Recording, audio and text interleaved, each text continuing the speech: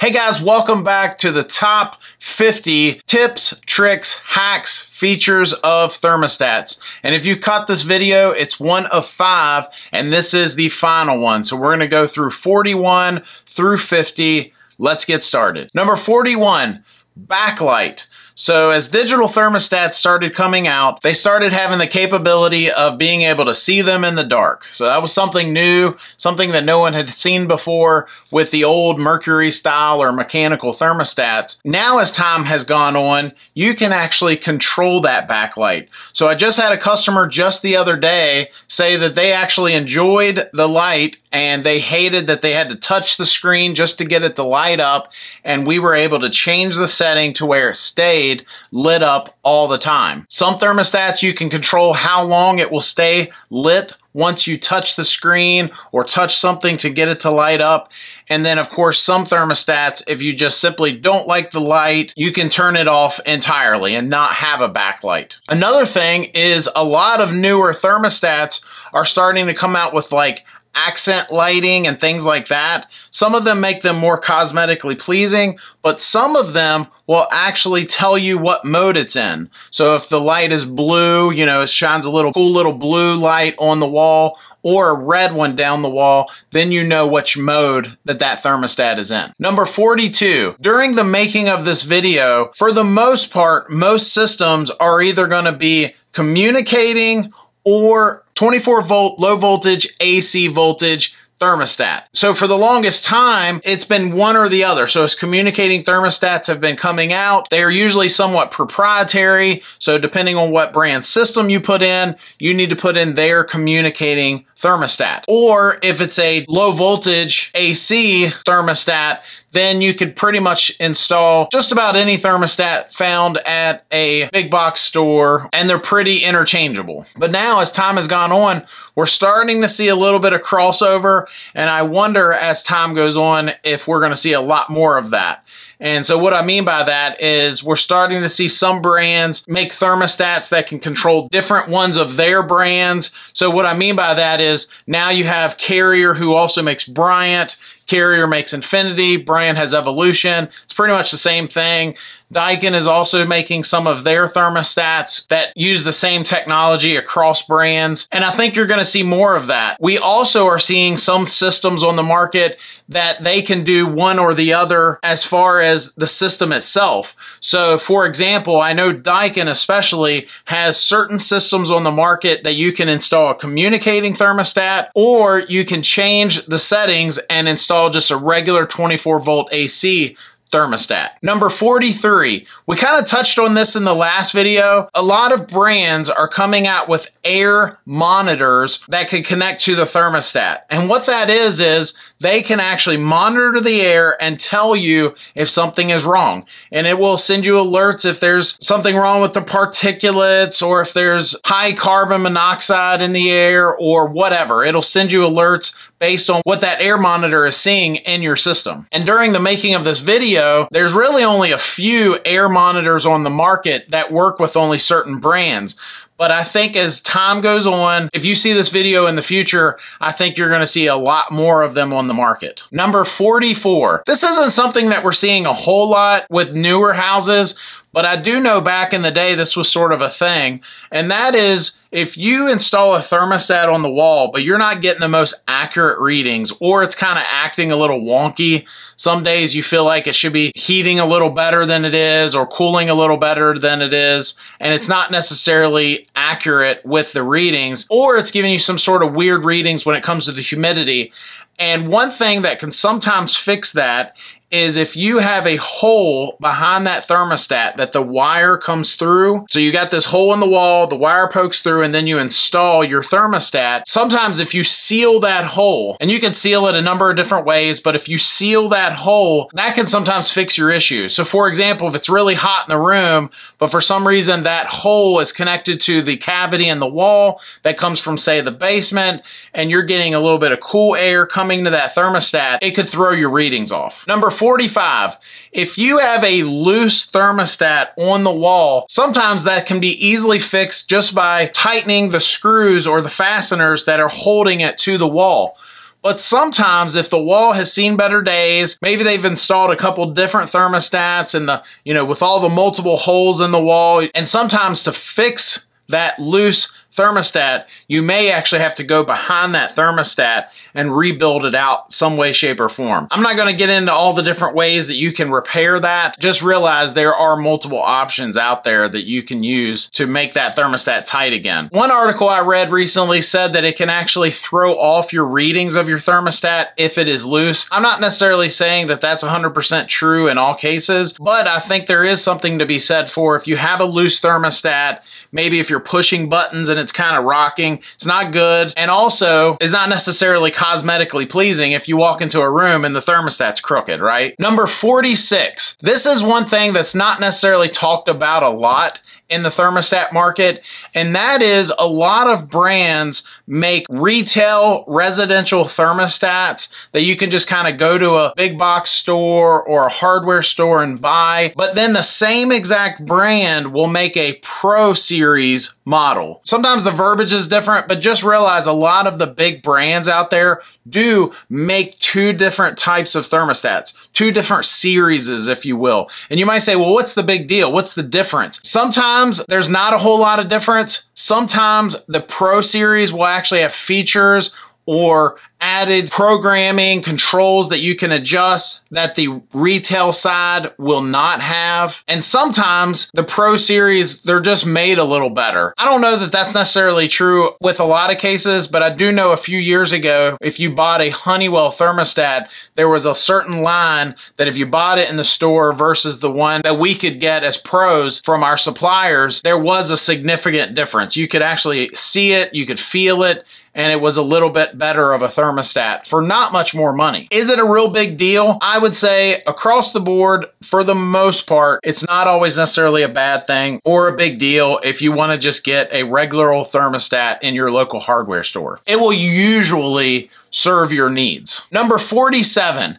a lot of thermostats have multiple schedules or settings when it comes to the days of the week. In some cases, it may not matter to you, but if it does matter to you, just keep in mind when you're buying or you're shopping for your next thermostat that it may say 5-2 or 511 or seven day programming. And so all that means is if it says five and two, that just means you get two options. So you're gonna have your settings for the middle of the week and the two weekend days. 511 would simply be your settings for the week. Saturday, Sunday, and then of course, seven day programming means you can have a different schedule for each and every day. Number 48. One of the questions we get a lot of times when we're talking about thermostats is a lot of folks will ask us, hey, what should I set my thermostat at?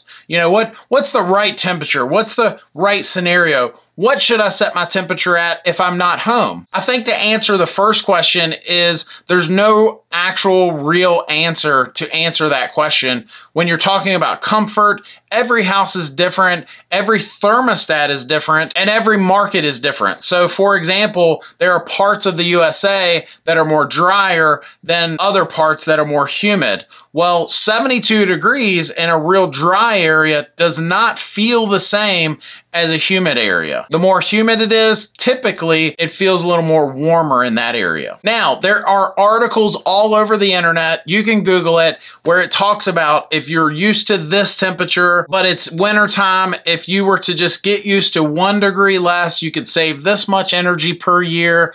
If you'd set it two degrees lower, you'd save even more. I think for the most part, if you are keeping in mind that there are backup heat sources and you're doing your best to not adjust the temperature with huge swings, even with the programming, you could actually save a little bit of energy, still be comfortable, and not have to worry about some of the other things we've talked about in our other videos, meaning heat droop and backup heat stage timers and things like that. And then finally, what should you set it at when you're not home? For us, people in my market, I typically tell them if it's wintertime, don't set your thermostat any lower than 60 degrees.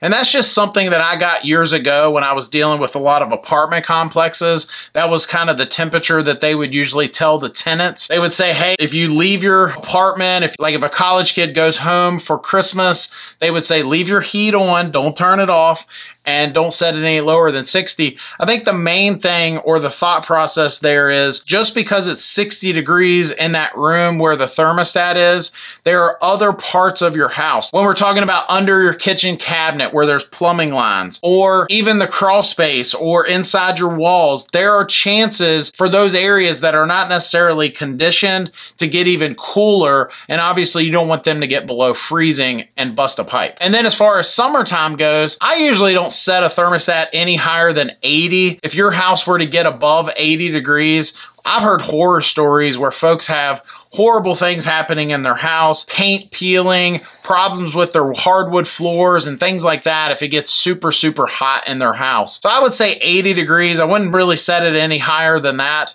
And that's pretty manageable, right? So if you keep in mind, most air conditioning systems have a delta T temperature, meaning it goes in the return and comes out a 20 degree 20-ish, sometimes a little higher but ultimately 20 degree difference. Well, if you had that thermostat set even higher than 80 and then you come home and you're trying to get it down to you know a manageable you know a 72 degrees you know just a comfortable temperature and you've got it now it's way up above 80 it's going to take a long time to get all the way back down to a comfortable temperature. Why? Because everything in your house holds heat.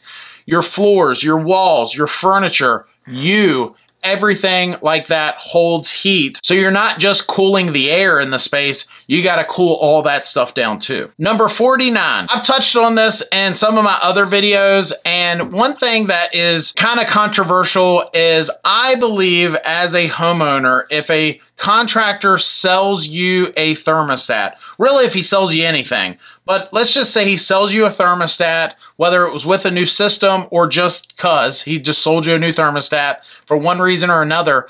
A lot of pros think you're too dumb as a homeowner that you're not qualified, that you're not allowed to have the manual that comes with that thermostat. I don't subscribe to that belief. I personally think if you bought the thermostat, it's your thermostat, and you want the manual, by gosh, you should have the manual. That's my personal opinion. And I don't think I'm smarter than every homeowner out there, right? I think there is something to be said for if you don't know what you're doing and you're in the programming, yes, you could create more problems. But I think if you're watching this video and you're one of those homeowners that's kind of handy and you actually can go in and adjust the programming or adjust this or adjust that, then you should have the manual. So what do you do if your pro did not give you the manual? So your pro came in, he put in a thermostat for you and now you got this new thermostat, but no manual. Sometimes thermostats will come with two manuals. They'll have the installation or troubleshooting manual, and then they'll have a user manual. And the difference is the user manual is more for the homeowner to be able to set their own schedule or how to operate it, you know, what buttons mean and things like that. That would be the user manual. So the pro might give them that, but then they still keep the manual that has all the goodies in it. So what do you do if he did that? A lot of thermostats can be found online and if you can't find it online, you can approach the manufacturer. If all else fails, if you're one of the subscribers to our website, newhvacguide.com, you can actually message us and we will send you the manual. And then finally, number 50, we've gone through all 49 if you've watched all the videos, and we're now to number 50. And I've saved the best for last, and that is if you don't know what you're doing with that thermostat, please call a pro. If it's above your knowledge, you're not really sure what you're doing, you're not really sure what to set this at or how to wire it or whatever, the problems you could create if you don't know what you're doing would not be worth the couple dollars that you would save by doing it yourself. I know that's kind of a little backwards from the last step that I said, but I think in the grand scheme of things, if you get to something and you're not sure and you're just trying to save a dollar or two, just realize you could be opening a whole can of worms. You could be creating more problems for yourself just by saving a couple dollars from hiring a pro just hire the pro. Avoid the headaches. All that said, if you've watched this series and you have any comments or questions, please comment down below. That said, if you are in the market for a new heating and air system, before you spend thousands, go to our website, newhvacguide.com. This website has so much information. I basically wrote a book but I put it on this website so it can never become outdated. And my goal is to help you as a homeowner so you don't get scammed, so you don't have the same headaches that a lot of other homeowners have. If you follow this guide, my hope and dream is that everything goes through smoothly. A lot of information on this website, manufacturers and contractors don't even want you to know. I've got a whole page called no-nos. I've got a whole page for good and bad heating and air brands. So again, before you spend thousands, check out that website. But that's all I have. Thanks for watching. Please hit that subscribe button. We'll see you next time.